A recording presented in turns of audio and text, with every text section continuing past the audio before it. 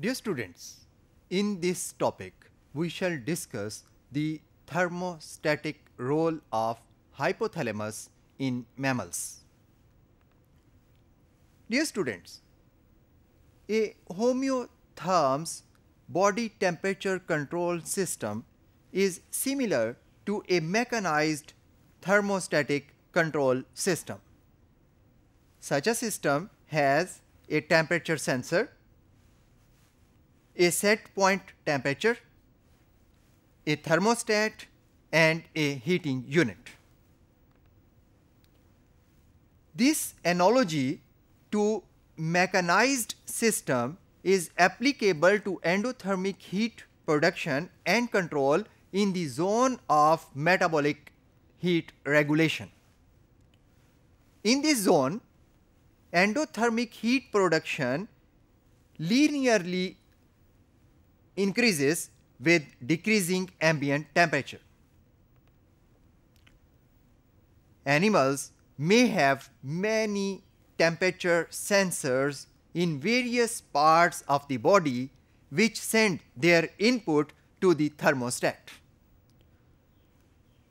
To maintain the body temperature at the set temperature, thermostat may activate the mechanisms of either heat producing or heat exchanging or heat conserving or heat loss mechanisms.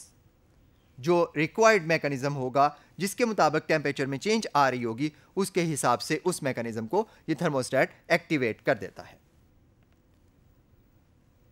dear students the temperature sensitive neurons and nerve endings are found in the brain, in the spinal cord, in the skin and many other sites of the core of the body. These temperature sensors give their input or provide their input to the thermostatic centers in the brain. Yes, students, the mammalian thermoregulatory center is located in the hypothalamus.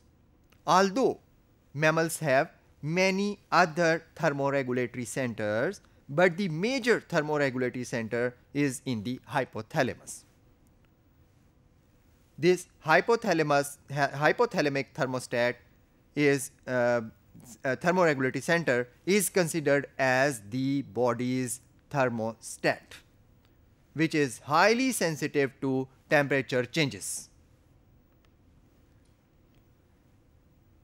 Hypothalamus thermostatic regulatory centre के तौर पर काम करता है इसका सबूत इस चीज़ से मिलता है कि अगर हाइपोथैलेमस को कूल किया जाए So it produces an increase in metabolic rate and a rise in body temperature.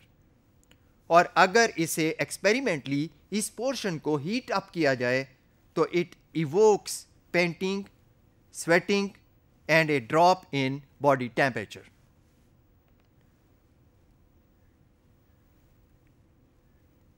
ये जो हाइपोथैलेमिक थर्मोरेगुलेटरी सेंटर है, इसके एंटीरियर पार्ट में हाईली टेम्परेचर सेंसिटिव न्यूरॉन्स पाए जाते हैं। इनमें से कुछ neurons respond to increased hypothalamic temperature जब ये वाले न्यूरॉन्स एक्टिवेट होते हैं तो they activate heat dissipating mechanisms that is vasodilation panting and sweating